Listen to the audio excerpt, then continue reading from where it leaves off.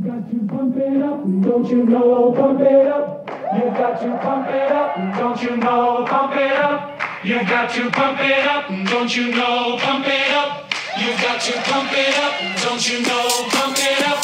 You got to pump it up, don't you know? Pump it up. You got to pump it up, don't you know? Good morning. Welcome back to WSJ Morning News. I'm Thomas. And I'm Bo. Today's Tuesday, February 21st, 2023. Please stay- stand and face the crucifix in classroom for morning prayer. In the name of the Father, and Son, and the Holy Spirit. Amen. Our Father, who art in heaven, hallowed be thy name. Thy kingdom come, thy will be done, on earth as it is in heaven.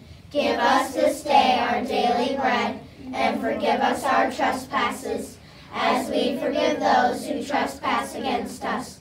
And lead us not into temptation, but deliver us from evil. Amen. The Father, the Son, and the Holy Spirit. Amen. Now face the flag in your classroom with your right hand over your heart and your left hand behind your back. I pledge allegiance to the flag of the United States of America and to the republic for which it stands, one nation, under God, indivisible, with liberty and justice for all. Now here's our joyful, silly, willy weather meteorologist dude, Jakey Craig, with today's weather.